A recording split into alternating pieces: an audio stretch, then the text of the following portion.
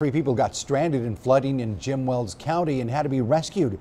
Firefighters were at Lake Findley today to help the people who were stuck in the park after a low water crossing flooded. The Alice Echo News reports the creek bed is usually dry, but with the recent dry, the recent rain, the creek has uh, filled with water and is now flowing. Take a look at that. Yes, and the car had crossed to Lake Findley earlier when the water was low, but the people weren't able to go back because the water had risen. So firefighters were able to save them and everyone is doing just fine. That's good.